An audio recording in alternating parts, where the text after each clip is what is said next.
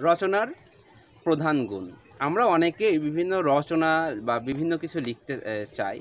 তো এই লেখালেখির জন্য এই রচনার আমাদের কোন গুণটি প্রথম প্রয়োজন? তো এখন আজকের আলোচনায় সেই রচনা লেখার বিষয় সম্পর্কে, গুণ সম্পর্কে আমরা আলোচনা করব যে একটি রচনা কীভাবে লিখলে সার্থক হয়ে উঠবে। কোনো নির্দিষ্ট শিরোনাম বা বিষয়কে বিশদভাবে আলোচনা করে প্রকাশ করাই হচ্ছে। রচনা। রচনার প্রথম প্রয়োজন সহজ, সরল ভাষা ব্যবহার এবং বক্তব্যের স্পষ্টতা।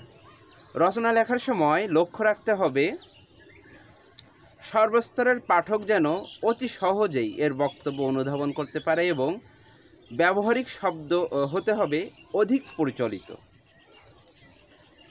লেখক কি বোঝাতে চাচ্ছেন? পাঠক যদি সেটা সহজেই বুঝতে না পারেন, তাহলে লেখার সার্থকতা থাকে না।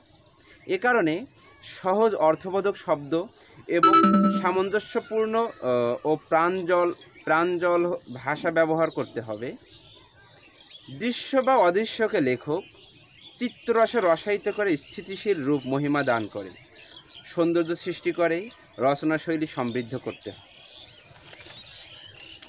রচনার মধ্যে বাস্তব অনুভূতি বা অভিজ্ঞতা প্রকাশ থাকবে। সেই অনুভূতি রচনার মধ্যে এমনভাবে প্রকাশিত হতে হবে যেন উহাতে দ্রষ্টার মনের পরিচয় নিবিড়ভাবে হয়ে ওঠে। এজন্য পাঠকের জন্য অর্থানুধাবনে কষ্টকর রচনা কখনোই সার্থক রচনা হতে পারে না। আর এজন্যই বলা হয়, রচনার প্রথম এবং প্রধান প্রয়োজন সরলতা এবং স্পষ্টতা।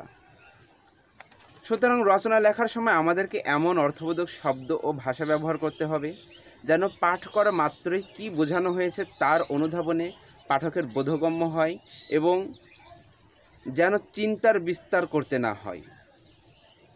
তাহলে সে রচনা হয়ে উঠবে সার্থক রচনা।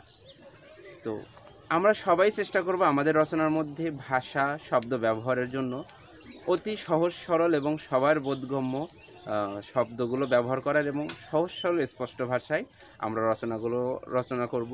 তো সবাই ভালো থাকবেন, সুস্থ থাকবেন আর ভিডিওটি ভালো লাগলে অবশ্যই লাইক, কমেন্ট, শেয়ার করে পাশে থাকবেন এবং যদি কোনো পরামর্শ থাকে অবশ্যই পরামর্শ দেবেন। ধন্যবাদ।